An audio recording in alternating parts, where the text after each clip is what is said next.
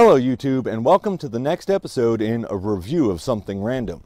Today we're going to be covering the Caldwell Precision Ballistics Chronograph and app for your smartphone. Now first I'll go over everything that came with the chronograph itself and then we'll get into testing it out. Let's get started. When you get your chronograph, you get the chronograph body itself, with sunshades, as well as this very long cable that's about a 15 footer. I've used this chronograph once before, but just to test it out to make sure it functions, today we're going to actually do some decent testing. That tripod does not come with it. That's actually a tripod that came with the camera I'm shooting with. You also get this bag not the uh, tape measure. The bag comes with this drawstring shoulder strap, and that's about it. It's a very basic setup. Now you can use this chronograph without the smartphone app. However, it will only display each shot as you take them. It won't store the shots or give you any calculations. That's what the app is for. It'll store shot strings that you can name individually as well as calculate things like standard deviation, average feet per second, etc. Let's go ahead and get into this. Today I'm going to be using my AR-15 from Natmill. I've got a box of Remington UMC 55 grain 223 rounds, as well as some hand loads that are sitting on top of a Hornady box.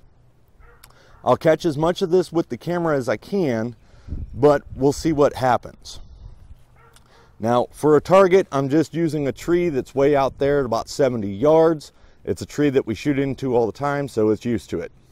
Now, of course, we do put in earplugs for safety. I want to load up first with the Remington rounds. Then I'll load in the uh, the hand loads. So I'm going to be doing shot strings in 10 rounds each. Now don't worry, I will be doing a review of the rifle itself, but that's just not going to be today.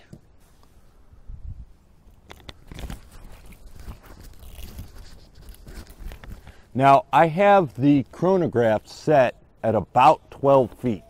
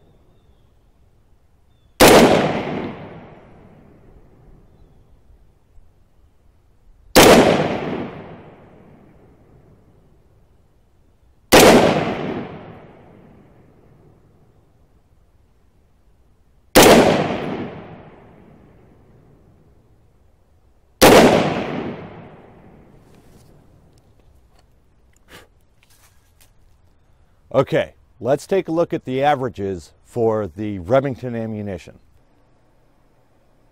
Okay, so now we're looking at the figures for the Remington ammunition.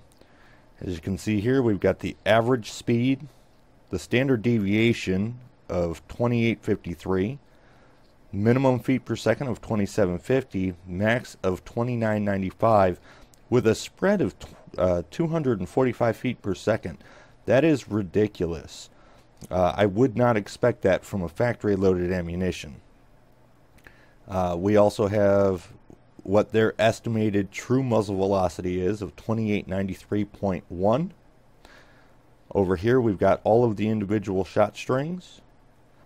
Now it doesn't show the foot-pounds of force on this set because I did not have the ballistic coefficient uh, for those 55 grain rounds. But since this is connected to my wireless, um, when I was shooting this, it gave the current temperature and barometric pressure. Um, we also had about an 11 mile an hour wind out there today, and as you saw, it was kind of sunny. Now we'll fire off the hand loads.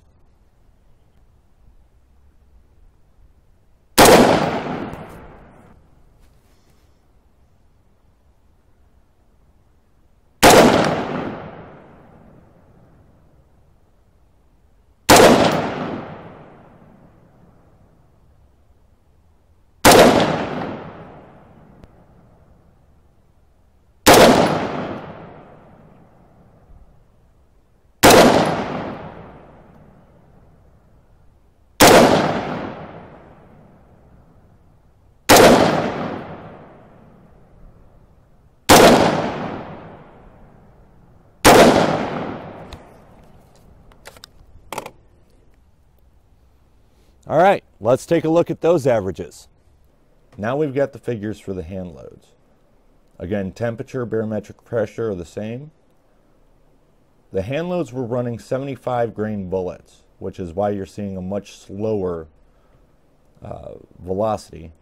But we've got 26, 27.7 as the average, a standard deviation of 20.88, minimum of 2590, max of 2668, a spread of 78 feet per second, and an estimated true muzzle velocity of 2637.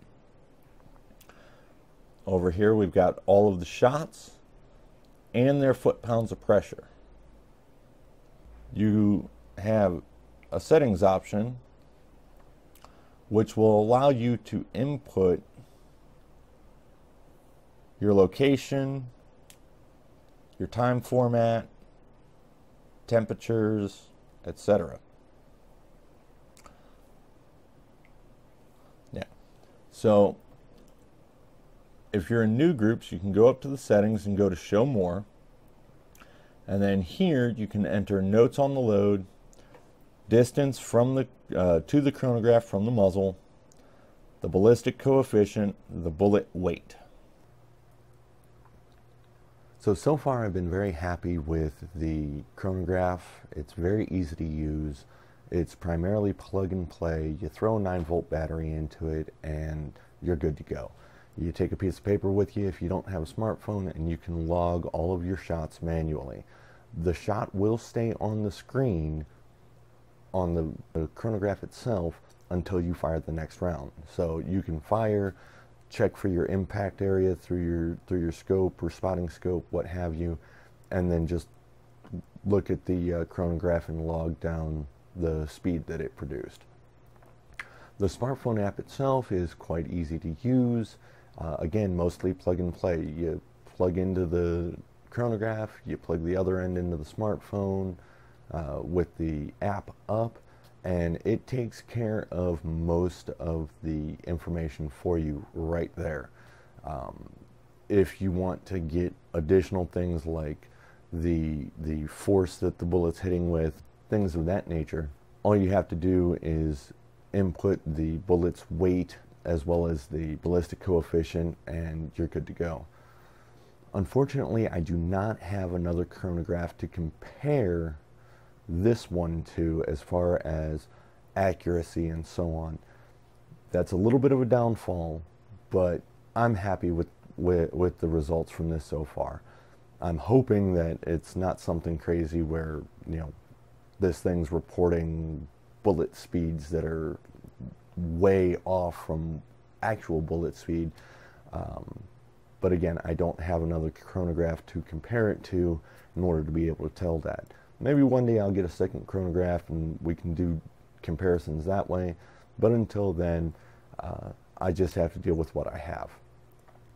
Um, I hope that you liked this video. If you did, please hit that like button. If you didn't, please hit that dislike button. I'm looking for all input.